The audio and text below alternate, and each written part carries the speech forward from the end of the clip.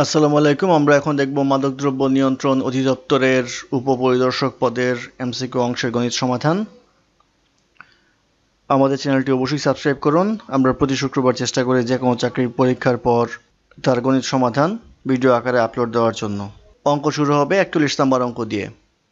একচল্লিশ নম্বর অঙ্ক ছিল বার্ষিক বারো পার্সেন্ট মুনাফায় কত বছরে দশ হাজার টাকার মুনাফা চার হাজার আটশো টাকা হবে? তো আমরা সূত্র হিসেবে জানি I equal to N P R তাহলে আমাদের এন হচ্ছে এখানে সময়, তাহলে এন ইকুয়াল টু লেখা যাবে হচ্ছে I by P R equal to আয়ের মান হচ্ছে এখানে চার হাজার আটশো, তাহলে চার হাজার আটশো হচ্ছে ইন্টারেস্টটা প্রিন্সিপাল অ্যামাউন্ট হচ্ছে দশ হাজার। এই দশ হাজার রেট অফ ইন্টারেস্ট হচ্ছে আমাদের বারো পার্সেন্ট তাহলে বারো বাই একশো। এটা হবে হচ্ছে ফোর ইয়ার অর্থাৎ চার বছর হবে সময়, এটি হবে এই প্রশ্নের উত্তর। তারপর অঙ্ক নাম্বার বিয়াল্লিশ, নাম্বার বিয়াল্লিশে বলা আছে, একজন ছাত্র আটশো নম্বরের মধ্যে ছয়শো নম্বর পেল, সে শতকরা কত নম্বর কম পেল? তো আটশোর মধ্যে পেয়েছে হচ্ছে ছয়শো, তাহলে কম পেল হচ্ছে দুইশো। দুইশো নাম্বার আটশো শতকরা কত, সেটা বের করতে হবে, দুইশো বাই আটশো গুণ একশো ইকুয়াল টু আসবে হচ্ছে পঁচিশ পার্সেন্ট অর্থাৎ শতকরা পঁচিশ পার্সেন্ট নাম্বার কম পেল, এই পঁচিশ পার্সেন্ট হবে এই প্রশ্নের উত্তর। তারপর অঙ্ক নাম্বার তেতাল্লিশ, তেতাল্লিশে বলা আছে X Q plus H X plus ten equal to zero সমীকরণটির এক্সের মান টু হলে এইচ এর মান কত? তাহলে এক্সের মান আমরা টু বসাবো টু বসালে এটা আসবে two Q plus two H plus ten equal to zero বা টু এইচ ইকুয়াল টু এটা হয় হচ্ছে এইট আর টেন এটা করলে হয় মাইনাস এইটিন বা এইচ ইকুয়াল টু আসবে হচ্ছে minus eighteen by two equal to minus nine এই মাইনাস নাইন হবে এইচ এর মান, এটি হবে এই প্রশ্নের উত্তর। তারপর অঙ্ক নাম্বার চুয়াল্লিশ, নাম্বার চুয়াল্লিশে বলা আছে একটা বৃত্তের পরিধি পঞ্চাশ পার্সেন্ট বাড়ানো হলে ক্ষেত্রফল কত বৃদ্ধি পাবে? আমরা জানি বৃত্তের পরিধি বৃদ্ধি পাওয়া এবং ব্যাসার্ধের সমানুপাতিক। সেই ক্ষেত্রে আমরা বলতে পারি হচ্ছে যে ব্যাসার্ধ বাড়ানো আর পরিধি বাড়ানো একই কথা।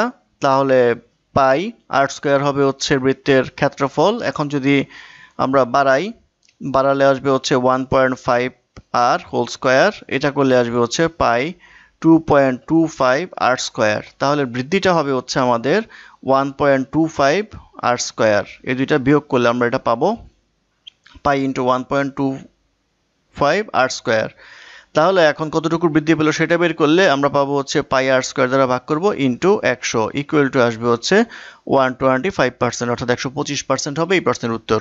তারপর অঙ্ক নাম্বার পঁয়তাল্লিশ, নাম্বার পঁয়তাল্লিশে বলা আছে four to the power X plus four to the power X plus four to the power X plus four to the power X equal to কত? তো এটা করলে চারটা four to the power X তাহলে four into four to the power X লেখা যায়। এটার উপরে পাওয়ারটা ওয়ান আছে, তাহলে four into four to the power X plus one লেখা যায়। Four to the power x plus one হবে এই প্রশ্নের উত্তর। তারপর অঙ্ক নাম্বার ছেচল্লিশ, ছেচল্লিশে বলা আছে এক ডজন ডিমের বিক্রয় মূল্যে বিশটি ডিম ক্রয় করলে শতকরা কত লাভ হবে? অর্থাৎ আমরা জানি হচ্ছে পার্থক্য ডিভাইড বাই বিক্রয় সংখ্যা ইন্টু একশো। এই হচ্ছে লাভ লসের হিসাব। তো পার্থক্য এখানে হচ্ছে বিশ মাইনাস বারো, আর বিক্রি করছে সে বারোটা ইন্টু একশো। ইকুয়াল টু আসবে হচ্ছে আট বাই বারো ইন্টু একশো। ইকুয়াল টু লেখা যায় সেভেন্টি সমস্ত তিন ভাগের দুই পার্সেন্ট অর্থাৎ সিক্সটি সিক্স সমস্ত তিন ভাগের দুই হবে এই প্রশ্নের উত্তর। তারপর অঙ্ক নাম্বার সাতচল্লিশ, সাতচল্লিশে বলা আছে, ক হতে ক্ষয়ের দূরত্ব পঞ্চান্ন কিলোমিটার, ক ও ক্ষয়ের গতিবেগ যথাক্রমে তিন কিলোমিটার ও চার কিলোমিটার।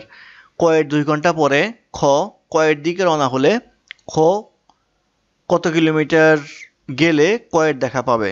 অর্থাৎ ক এখানে আছে, খ এখানে আছে, তাদের দূরত্ব বলা আছে হচ্ছে পঞ্চান্ন কিলোমিটার। এখন কয়ের গতিবেগ হচ্ছে তিন কিলোমিটার পার আওয়ার, ক্ষয়ের গতিবেগ হচ্ছে চার কিলোমিটার পার আওয়ার। তো ক বলা হচ্ছে দুই ঘণ্টা আগে রওনা করেছে। দুই ঘণ্টা রওনা করলে দুই ঘন্টায় সে দুই ক্রম করে তিন ইন্টু দুই ইকুয়াল টু সিক্স তাহলে এই জায়গাটুকু কমে আসে, পঞ্চান্ন থেকে আমরা ছয় বিয়োগ করব, আসবে হচ্ছে উনপঞ্চাশ কিলোমিটার জায়গা থাকে। এখন ক এবং খ যেহেতু একই দিকে যাচ্ছে, গতিবেগটা প্লাস হয়ে যাবে, আসবে হচ্ছে তিন আর চার যোগ করলে আসবে হচ্ছে সাত ইকুয়াল টু আসবে হচ্ছে সাত ঘণ্টা। সাত ঘণ্টা পরে তাদের দেখা হবে। তো প্রশ্নে বলা আছে খ কত কিলোমিটার গেলে দেখা পাবে? তো খ, এই চার কিলোমিটার পার আওয়ার বেগে সাত ঘন্টায় গেলে চার সাতা আঠাইশ কিলোমিটার যায়। আঠাইশ কিলোমিটার দূরত্ব অতিক্রম করে খ, এই আঠাইশ কিলোমিটার হবে এই প্রশ্নের উত্তর। তারপর অঙ্ক নাম্বার আটচল্লিশ, নাম্বার আটচল্লিশে বলা আছে, ত্রিভুজ A B C A A B equal to AC BC বাহুকে D পর্যন্ত বর্ধিত করলে যদি A C D equal to একশো বিশ ডিগ্রি হয়, তাহলে বি এ সি এর মান কত? তো যদি আমরা চিত্র আঁকি, তাহলে আসবে এমন এ বি সি আর এটাকে বর্ধিত করতে হবে ডি পর্যন্ত। এই কোণটা হলো একশো বিশ ডিগ্রি। আমাদেরকে জানতে চাওয়া হয়েছে এই কোণটা কত। তো এই কোণটা যদি একশো বিশ ডিগ্রি হয়, টোটালটা একশো আশি ডিগ্রি সেই ক্ষেত্রে এটা ষাট ডিগ্রি। আর বলা আছে এই বাহু এই বাহু সমান। তাহলে সমান সমান বাহুর বিপরীত কোণগুলি সমান, তাহলে এটা সিক্সটি ডিগ্রি হলে এটাও সিক্সটি ডিগ্রি হবে। আর ত্রিভুজের তিন কোণ মিলিয়ে হয় একশো আশি ডিগ্রি, তাহলে ষাট ষাট, একশো বিশ চলে গেল, বাকি থাকে আরও ষাট ডিগ্রি। সেই ক্ষেত্রে এই কোণের মান হবে হচ্ছে ষাট ডিগ্রি। এটি হবে এই প্রশ্নের উত্তর। তারপর অঙ্ক নাম্বার উনপঞ্চাশ নাম্বার উনপঞ্চাশে বলা আছে, বারোটি বাহু বিশিষ্ট একটি সমতল ক্ষেত্রের কৌণিক বিন্দুগুলোর সংযোগ রেখা দ্বারা কতগুলি ত্রিভুজ গঠন করা যেতে পারে? এটা হচ্ছে বারোটা কম্বিনেশন থ্রি ইকুয়াল টু আসবে হচ্ছে দুইশো বিশ। এই দুইশো বিশ হবে এই প্রশ্নের উত্তর, এটা একদম ইজি জিনিস। তারপর অঙ্ক নাম্বার পঞ্চাশ, নাম্বার পঞ্চাশে বলা আছে, ক প্রথমে তিন মাইল উত্তরে, পরে নয় মাইল পূর্বে এবং তারপর আবার নয় মাইল উত্তরে যায়। শুরুর স্থান থেকে তার দূরত্ব কত মাইল? তো আমরা উত্তর দক্ষিণ পূর্ব পশ্চিমটাকে ঠিক করে নেব খাতায়। তো বলা হচ্ছে প্রথমে যায় উত্তরে তিন, তাহলে তিন আসবে উত্তরে, তারপরে যায় পূর্ব দিকে নয়, এদিকে নয়, তারপরে আবার যায় নয়, আবার উত্তর দিকে যায় নয়। তাহলে এই ডিস্টেন্সটা জানতে চাওয়া হয়েছে। তো এটা যদি আমরা এদিকে বর্ধিত করি আর এদিকে বর্ধিত করি, তাহলে এটা হচ্ছে তিন, নয় আর তিন যোগ করলে হয় হচ্ছে বারো। আর এটা এটার প্যারালাল সেই ক্ষেত্রে এটা হবে হচ্ছে নয়। এটা নয়, বারো হলে এটা পনেরো হয় আমরা জানি। আর যারা না জানেন, তারা এ বি সি ধরে করতে পারেন।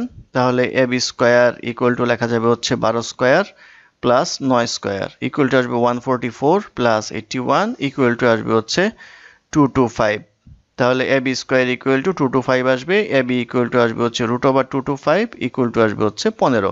তাহলে এ বির মান আসবে হচ্ছে পনেরো, এই ডিস্টেন্সটা হবে পনেরো মাইল এটি হবে এই প্রশ্নের উত্তর। তারপর অঙ্ক নাম্বার একান্ন, নাম্বার একান্নতে বলা আছে, পাঁচ সেন্টিমিটার ব্যাসার্ধ বিশিষ্ট বৃত্তে অন্তর্লিখিত বর্গক্ষেত্রের ক্ষেত্রফল কত বর্গ সেন্টিমিটার তো এই একটা বৃত্ত আছে, এর ভিতরে একটা বর্গক্ষেত্র আছে। এটা হচ্ছে ব্যাস, আর ব্যাসার্ধ বলা আছে হচ্ছে পাঁচ। তাহলে এটা আরও পাঁচ, তাহলে ব্যাস হবে দশ। আর এই বৃত্তের ব্যাসটাই হচ্ছে বর্গক্ষেত্রের কর্ণ।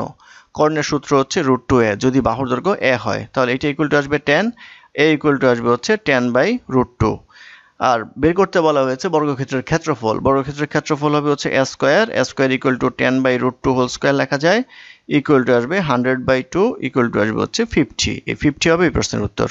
তারপর অঙ্ক নাম্বার বাহান্ন নাম্বার বাহান্নতে বলা আছে x square plus p x plus four equal to zero মূল দুটি সমান হলে p is greater than zero হয়, তবে পি এর মান কত? তো এখান থেকে নিশ্চয়ক বের করতে হবে।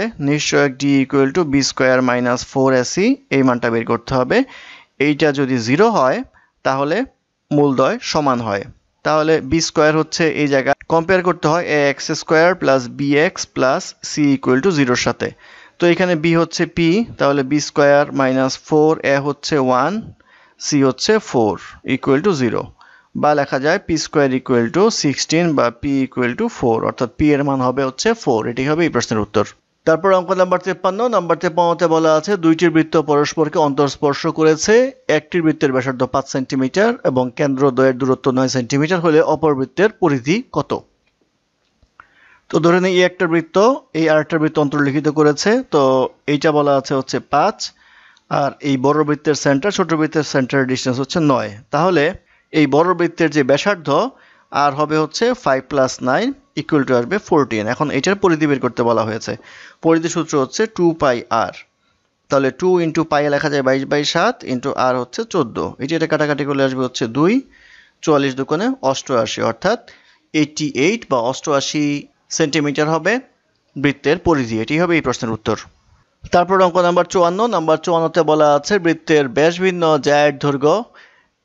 এইট রুট টু সেন্টিমিটার এবং কেন্দ্র থেকে ওই জায়ের উপর লম্বের দৈর্ঘ্য দুই সেন্টিমিটার। বৃত্তের বৃহত্তম জায়ের দৈর্ঘ্য কত? তো ধরে নেই এ একটা বৃত্ত, বলা হচ্ছে কেন্দ্র ছাড়া যা। ধরে নেই এ বি একটা যা, এটা হচ্ছে এইট রুট টু। আর বলা হচ্ছে কেন্দ্র থেকে এই দূরত্বটা হচ্ছে টু। জিজ্ঞাসা করা হয়েছে বৃহত্তম যা কত? তো বৃহত্তম যা হচ্ছে বৃত্তের ব্যাস, অর্থাৎ ব্যাস বের করতে হবে, অর্থাৎ টু আর বের করতে হবে এখানে। তো এটা হচ্ছে বৃত্তের ব্যাসার্ধ। তাহলে এটা যদি আর হয়, তাহলে লিখতে পারব আর স্কোয়ার ইকুয়াল টু লম্ব স্কোয়ার ভূমি স্কোয়ার টু স্কোয়ার প্লাস এই পুরাটা যেহেতু এইট রুট টু তাহলে এই অর্ধেকটুকু হবে হচ্ছে ফোর রুট টু তাহলে four root two whole square equal to আসবে ফোর প্লাস ষোলো দুকোনে বত্রিশ। ইকুয়াল টু আসবে হচ্ছে thirty six r square equal to thirty six r equal to আসবে হচ্ছে সিক্স এটা হচ্ছে সিক্স তো প্রশ্নে চাওয়া হয়েছে টু আর অর্থাৎ ব্যাস কত? বা বৃহত্তম যা। ব্যাস হচ্ছে টু আর। টু আর মানে two into six equal to আসবে হচ্ছে বারো। এই বারো হবে এই প্রশ্নের উত্তর। তারপর অঙ্ক নাম্বার পঞ্চান্ন। নাম্বার পঞ্চান্নতে বলা আছে three to the power x by three to the power x minus one কত? এটা যেহেতু বেস বেস সমান, তাহলে পাওয়ার ভাগাজ বিয়োগ হবে। তাহলে x minus x plus one equal to আসবে three to the power one equal to three এই থ্রি হবে নির্ণয় মান। এটি হবে এই প্রশ্নের উত্তর। ধন্যবাদ আমাদের সাথে থাকার জন্য। আমাদের চ্যানেলটি ভালো লাগলে অবশ্যই সাবস্ক্রাইব করবেন লাইক কমেন্ট এবং শেয়ার করবেন এবং অঙ্কে কোনো সমস্যা থাকলে আমাদের কমেন্টে জানাবেন। আমরা চেষ্টা করব ডিসক্রিপশনে তার সমাধান বা কারেকশন দেওয়ার জন্য। ধন্যবাদ।